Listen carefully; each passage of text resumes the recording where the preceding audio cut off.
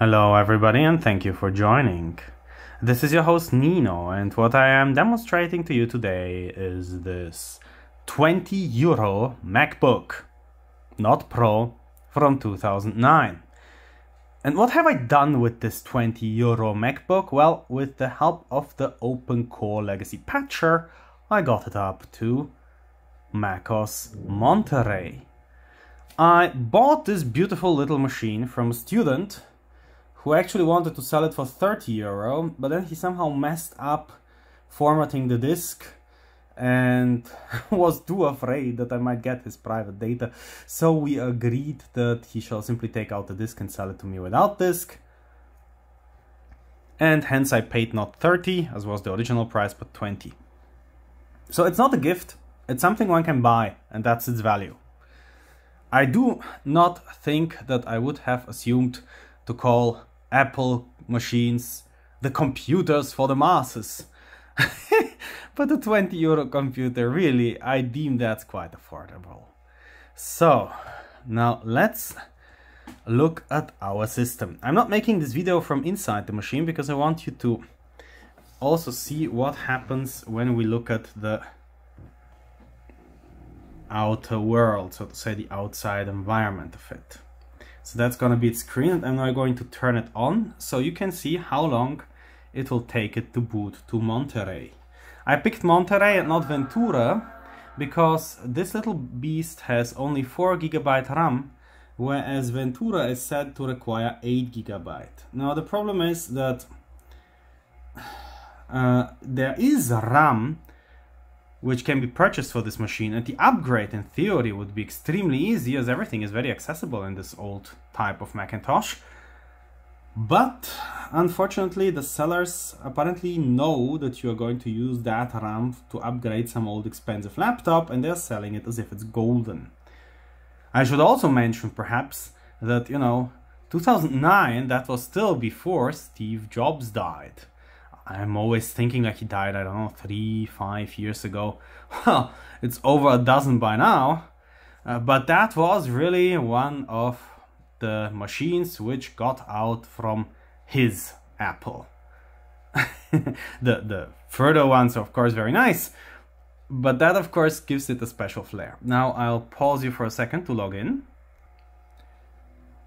So, as you can see, a certain not too large but also noteworthy lagginess is there.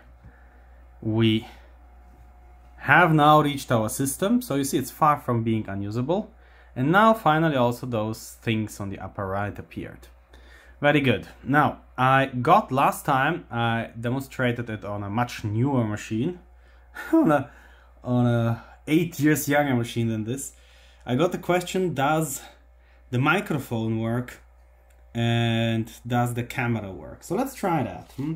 So there's photo booth. I haven't tried that yet, so it's gonna be surprising for me too. So photo booth is here. And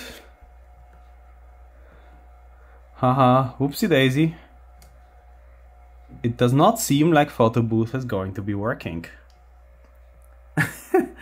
Okay, then there may be no photo booth, huh? It's not very great, but what shall one do? Let's try Audacity. That will show me whether the sound recording is working.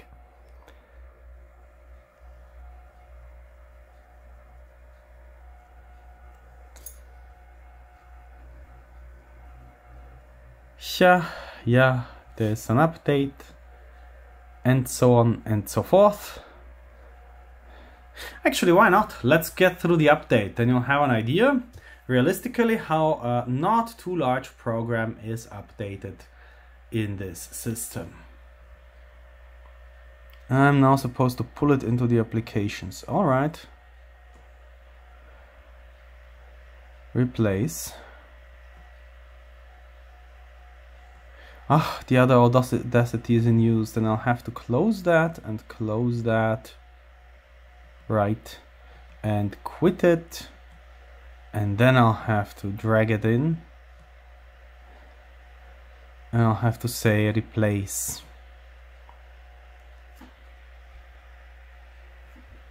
So that should have been it. That should have replaced my Audacity.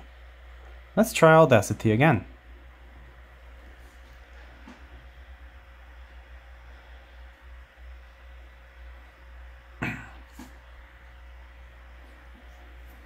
So again, we were here at the start page, which we don't really need.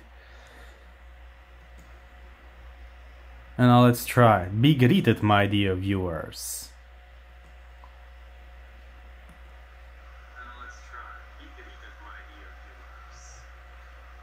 Okay, it worked. I, I could make it louder, but let's say for the demonstration purposes, it did in fact work. So I do have wireless.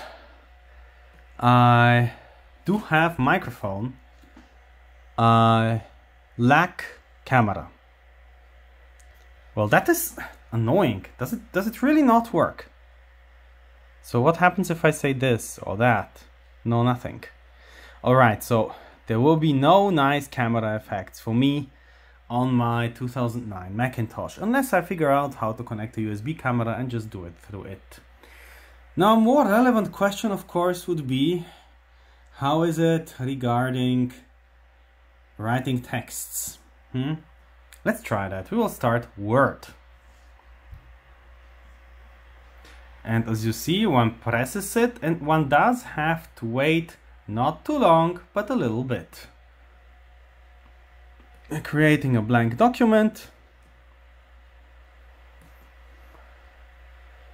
We are, I don't know, increasing the font to 72 and we're saying, hello there, this is from Modern Word. So you can see as a sort of typewriter machine, this completely will suffice. Now that's lovely, but would it be also possible to surf the internet? That seems to be a common topic. I would like to mention that uh, there are ways apparently also for older machines to, to browse the internet in, in variants of macOS such as 10.11 or 10.10 and things like that. But I do have a modern one, a modern operating system, so I put here Opera, Firefox and Safari, which came of course with the machine. So let's see how long startup takes. I have now started all three. They are making a little bit of a dance there.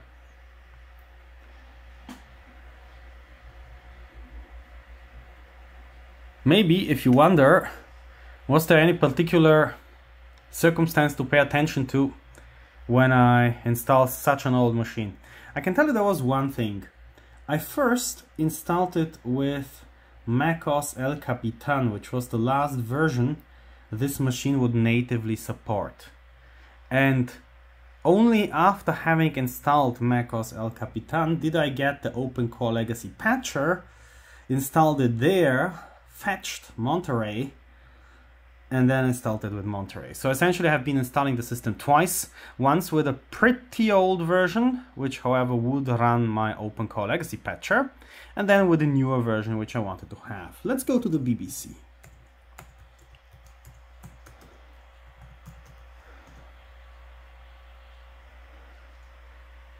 So as you can see, this is all pretty much working the way we would imagine.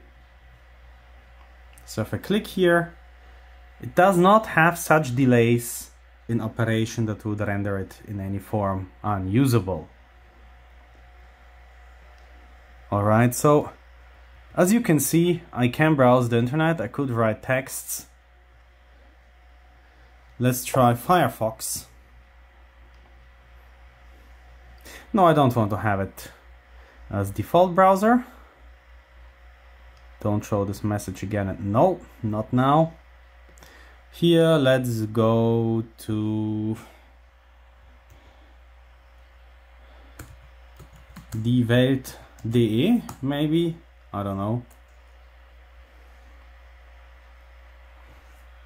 So you could see this loaded everything just the way it was supposed to. Like that was not too complex to handle. Okay, now it is somehow whining about cookies. Oh gosh, accepting cookies. And then we're having Safari, which sometimes works nicely, but usually is really a pain to use. I am not that much of a fan. Sometimes it's like it ticks and ticks along. Al Jazeera.com. I like Al Jazeera. It gives you a different perspective. Nobody ever will give you neutral information, but seeing very different perspectives will permit you to more accurately build up an image of events for and by yourself. So, whatever that was, I clicked on something by mistake apparently.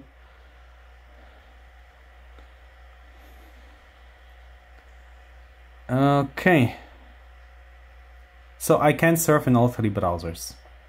But I think I'll stick with Opera because I do like Opera and it has been always quite reliable and lightweight. Might also go to Firefox sometimes when something requires more heavy duty browsing. And now let's try something quite important actually. You will not be watching all that many static sites. Hmm? You will quite likely watch uh, videos on your machine. At least that's one of the things people normally do. Let's Google my friend Ivan and his YouTube channel. Don't be surprised, it is in Bulgarian. Ordinary guy tries things.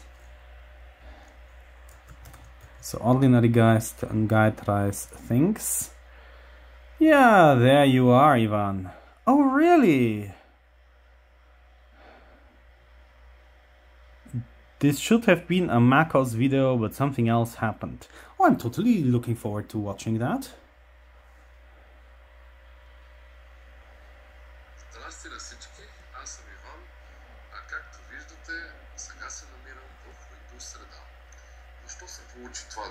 днешното видео трябваше да бъде посветено на macOS а, като цяло.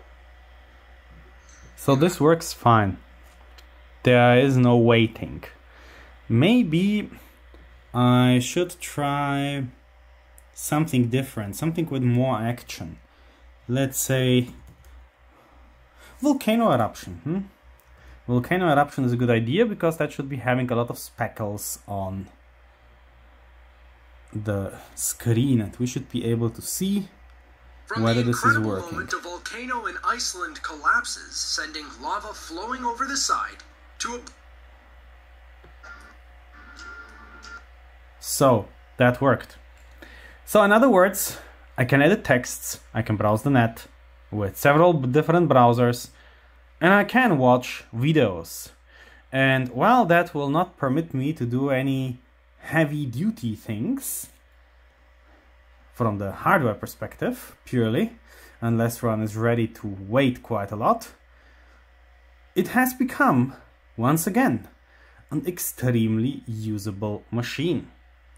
And so with that, I can clearly recommend you the OpenCore Legacy Patcher as it is entirely apt to turn an ancient machine into something more practically usable.